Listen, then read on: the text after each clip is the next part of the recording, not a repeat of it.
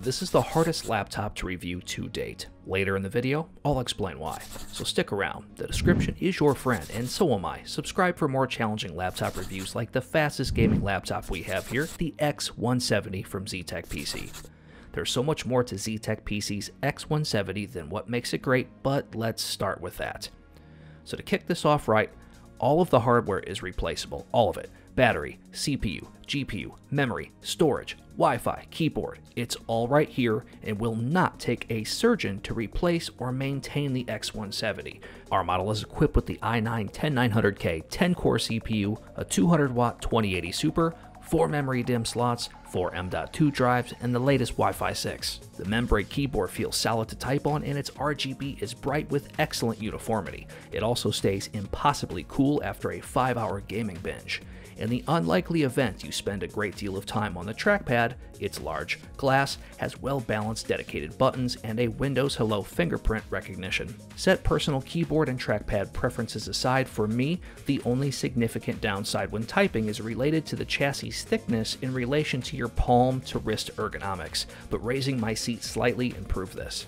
This particular SKU has a Full HD 144Hz G-Sync display at 99% standard RGB, 74% Adobe RGB, 328 nits. This is a 5 millisecond panel. Gaming is as good as you can get on a desktop replacement laptop right now. Crank those settings and still get great frame rates. Temps are solid too, in fact, top notch considering the wattage of the hardware inside.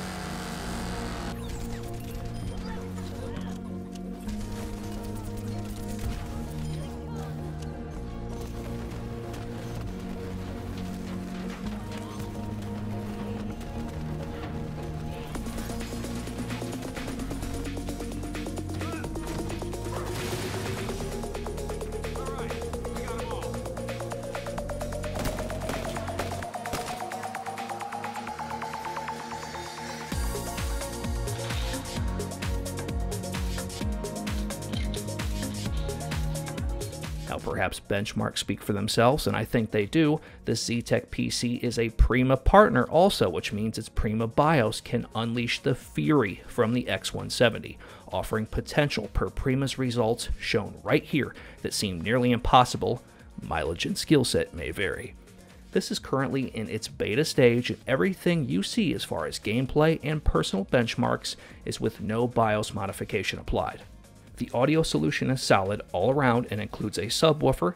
It also has the lowest LatencyMon results I have seen yet, tested with both power supplies connected or just a single brick. Have a listen.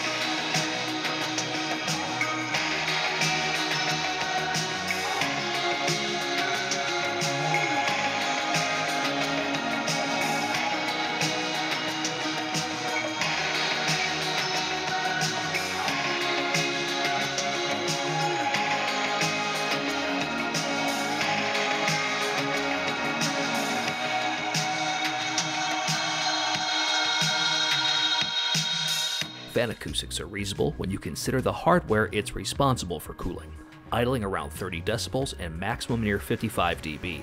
Not only are they incredibly responsive to maximum speed and idle speed, they will reverse themselves at a highish RPM upon boot or wake up to slow down dust buildup.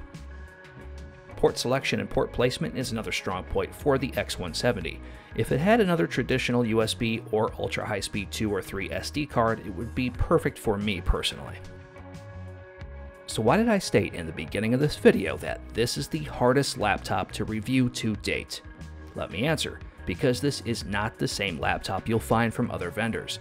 zTecpc spent a lot of time and money researching for solutions to tame this beast. They flew in a pro to test, tweak, cut, and grind the X170 to its perfection, and I might mean most of that literally. In other words, it's been modified beyond the BIOS and whatever thermal interface material vendors are known for offering. Out of the box, this laptop thermal throttles badly. Let me repeat, the factory spec, out of the box, this laptop thermal throttles badly. The factory BIOS from Clevo does the X170 the biggest disservice I have seen on a laptop of this caliber, you will be limited to third-party software such as XTU and ThrottleStop to modify its performance. If you're on the fence about this laptop or my information, then I suggest you wait it out until you see the X170 reviewed elsewhere. I'm saying this as your friend. Portability on the X170 is not one of its strengths. It feels durable with its aluminum lid and deck, but it's 10 pounds and requires two 280 watt power supplies for maximum power. Running a laptop on a single 280 watt PSU is fine on the go for casual tasks, but limits gaming frame rates to 30 FPS. This is something the P775 chassis this replaces did not do, but the P775 also used two 330 watt bricks. If you absolutely must take this with you for work, this single power supply will suit you just fine. The clever power supply unit organizer allows for dual 280 watt bricks or dual 230 watt bricks. Perhaps future SKUs will reveal different power requirements. Alright, I'm a little surprised to see a 720p webcam on a Clevo based chassis like this. Usually they go full HD, but this is not the case. Microphone, however, does sound pretty good. It will pick up keyboard strokes. And it definitely does not want to isolate fan noise. So don't do this, folks, to the people on the other side. Fortunately, a chassis like this running under quiet mode should be just fine to keep the fan acoustics down. So good mic, disappointed on the webcam. Eh, Despite the large 97 watt hour battery, runtime is good for about 2 hours at best. Consider this a power backup. The X170 does not have switchable graphics or a MUX switch. Its display is directly connected to the NVIDIA GPU for maximum performance, which is all this laptop ultimately stands for. Bottom line, this is a desktop replacement laptop that zTecpc felt was unacceptable and turned it into an enthusiast product, perhaps the best of its kind. It was never meant to fool you into thinking it is a go anywhere laptop in the physical world. The virtual world, perhaps that's another story. Feel free to click on the videos around you as well as what is in the description. Lots of great information in there that I think you would appreciate should you wish to know more about zTecpc and the Clevo X170. I'd like to thank you for watching. I'm Bob of All Trades, and I'll see you in the next video.